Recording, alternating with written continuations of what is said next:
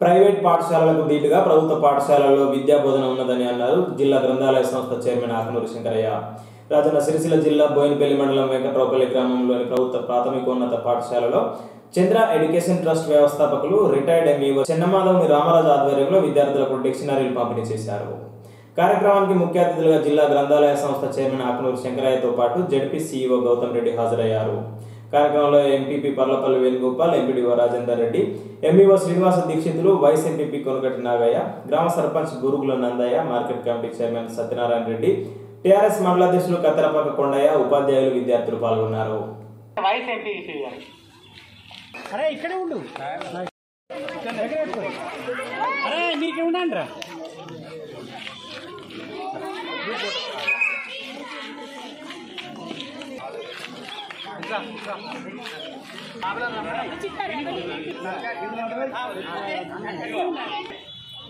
దౌడ దౌడ కింద పెట్టుకోరు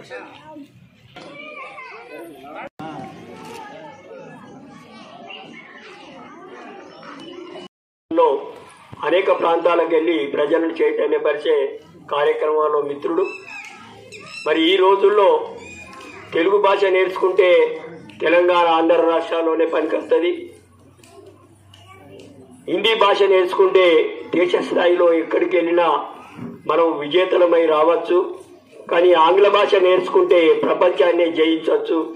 ప్రపంచంలో ఏ మూల పోయినా ఆంగ్ల భాష ఉంటే మనము అక్కడ సంబంధాలు అన్నిటిని కూడా సక్రమంగా నిర్వర్తించి రావచ్చు.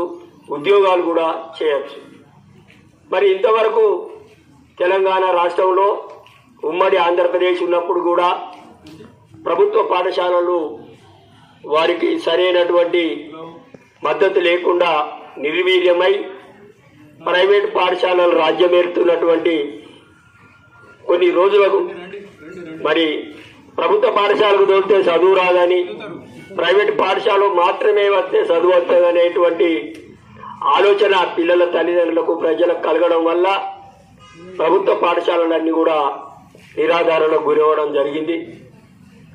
మన గౌరవనీయులు మన ముఖ్యమంత్రి కేసీఆర్ గారు తెలుగు భాషతో పాటు తెలంగాణలో మొత్తం కూడా ఆంగ్ల విద్యను బోధించినట్టయితే మరి తెలంగాణలో చదివినటువంటి పిల్లలు ప్రపంచంలో ఎక్కడికి వెళ్ళినా వారిని తీసుకొని వాళ్ళు విజేతలుగా రావాలంటే ఆంగ్ల భాష తప్పనిసరి అని మన తెలంగాణ రాష్ట్రంలో ప్రభుత్వ పాఠశాలలో ఇవన్నీ పెడితే ఆహా మా పిల్లాడు బ్రహ్మాండంగా చదువుతుండని ఆలోచనలో ఉండే. కానీ మన ముఖ్యమంత్రి గారు ప్రభుత్వ పాఠశాలలో చదివే పిల్లలకు కూడా యూనిఫామ్ ఇచ్చి టై బెల్ట్ షూ ఇచ్చి వాళ్ళను కూడా ఆంగ్ల భాషను నేర్చుకోవాలని ఉపాధ్యాయులందరకు ఈ మధ్యనే ఆంగ్ల బోధన మీద అనేక శిక్షణ తరగతులు ఇచ్చి ఉత్తమమైనటువంటి ఉపాధ్యాయులను తయారు చేసి పాఠశాలకు పంపించడం జరిగింది. ఇది విజేత ఇప్పుడు విజయవంతంగా మరి ఆంగ్ల భాష ప్రభుత్వ పాఠశాల మనకు విద్యార్థిని విద్యార్థులకు ముఖ్యంగా నేను తెలియజేసేది ఏంటంటే చదువు అనేది మనకు స్థిరాస్తి. అంటే మనం బ్రతికున్నంత వరకు మనం వెంబడి ఉండే ఆస్తి ఏదైనా ఉన్నది అంటే మనిషికి అది చదువు ఒకటే. కాబట్టి మనం జీవితంలో చదివి ఉన్నట్టయితే ఏ రంగంలోనైనా విద్య వైద్యం కానీ విద్య కానీ ఉపాధి కానీ వ్యాపార రంగం కానీ ఎన్ని ఏ రంగాల ప్రపంచంలో మనిషి జీవించడానికి ఏ రంగాలైతే ఉన్నాయో ఏ రంగంలోనైనా జీవించడానికి ఉపయోగపడేది విద్య ఒకటే. కాబట్టి విద్యను మించిన ఆస్తి ఏది లేదు. కాబట్టి విద్యార్థిని విద్యార్థులందరూ ఇది గమనించాలి.